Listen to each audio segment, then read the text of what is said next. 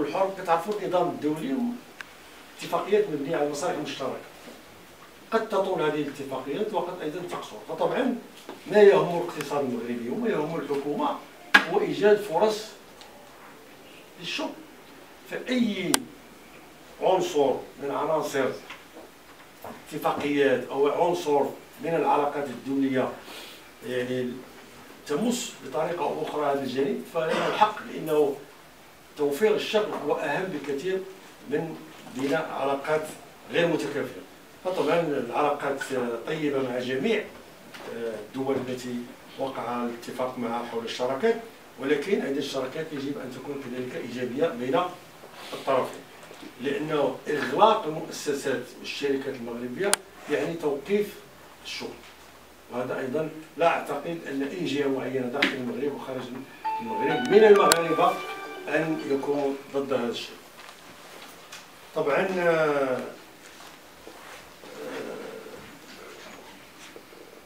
الحوار جاري دائما مع الجارة الإسبانية على جميع المستويات لحل جميع القضايا الموجودة. وأعتقد ان أننا الآن آه، نؤمن بما هو فعلي هو العمل المشترك بما في مصلحة البلدين. والحوار جاري لإيجاد حلول لجميع القضايا وسيتم حلها مستقبلا.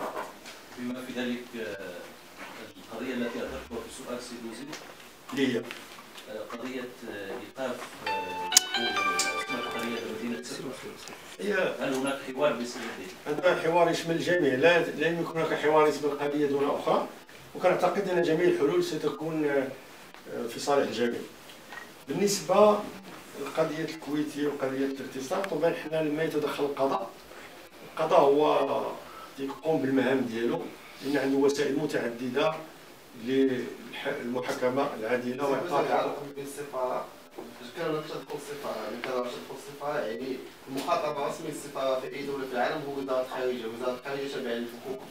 هو لما يصل الامر إلى القضاء انتهى الوضع، كيف ما كان أي جهة أن القضاء أخذ الموضوع بيده. فهو يتصرف وفق القوانين وفق الإمكانيات. بالنسبة للاخوه المسرحيين الدعم نعتقد الاشكال غير مطروح على الإطلاق. لماذا؟ لأن كاين هناك مبلغ محدد للدعم كاين هناك لجان خاصة للدعم وكاين هناك معايير خاصة للدعم ما أثير هو أشياء نسبت إلى الوزير ولا لها علاقة بالواقع وبنيت عليها مواقف وهذا واحد الاستعجال. لا أعتقد إنه يخدم مصلحه العامه نحن مع نحن مع المسرحيين. اسمحتي إحنا لسنا نرد على الشائعات أو على الاشياء الغير صحيحة وإلا إحنا لسنا متخصص إلا اسمح لي كل, كل واحد عنده الطريقة باش كيشتغل.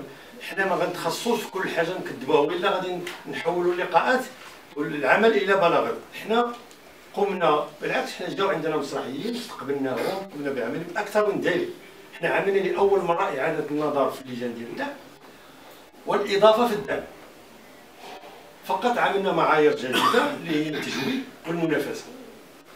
لأنه لكي هذا القطاع يأخذ دور حيوي في المستقبل يجب أن يتحول إلى قطاع تنافسي ثم كذلك إلى تجويد حتى يقبل عليه الناس وحتى يقبل عليه الجمهور. إذا الهدف الدعم هو دعم هذه القطاعات حتى يصير قطاع منتج وقوي ومدير للدخل. ونحن مستعدين لأي حوار وأي لقاء.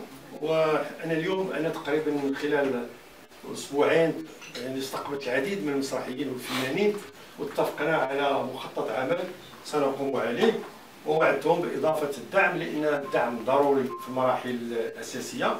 ولكن عندنا فقط وزارة توجه ديال تجويد العروض ثم كذلك واحد المعايير حتى فيها تكافؤ الفرص للجميع.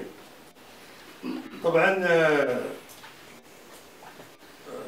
القانون الجنائي هو كما قلت سابقا هو نقاش مازال ساري للفعل لأنه الأمر لا يتعلق بالأشخاص الأمر يتعلق بمشروع داخل البرلمان سيصوت عليه البرلمان كمؤسسه فقط.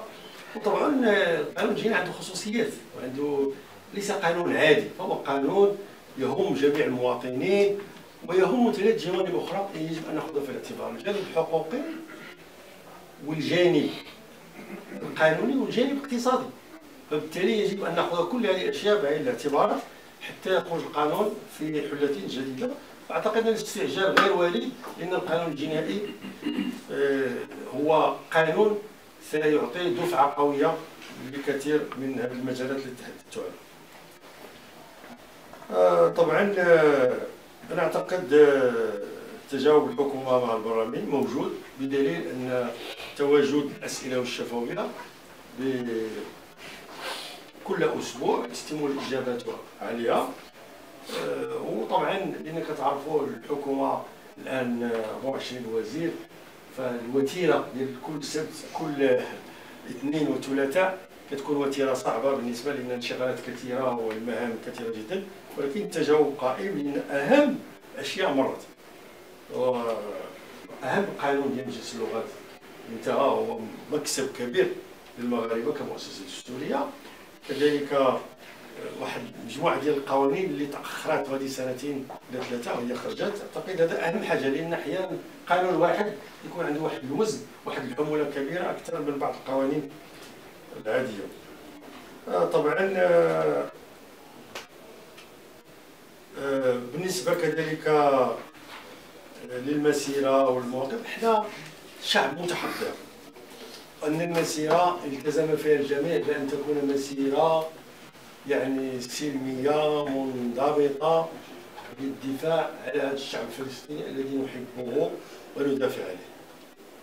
ما وقع من بعض السلوكات التي لا تهم المغرب ولا الحكومة وإنما تهم أصحابها وهم المسؤولين عنها. وطبعا هذا خارج الاتزان وخارج الاتفاق وخارج مبدأ التحضر الذي نتفق نتفق عليه في كل مسيرة.